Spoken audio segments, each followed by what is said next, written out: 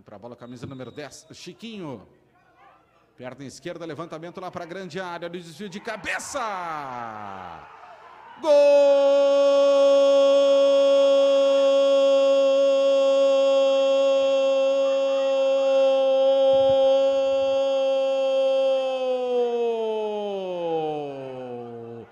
Do Internacional de Santa Maria.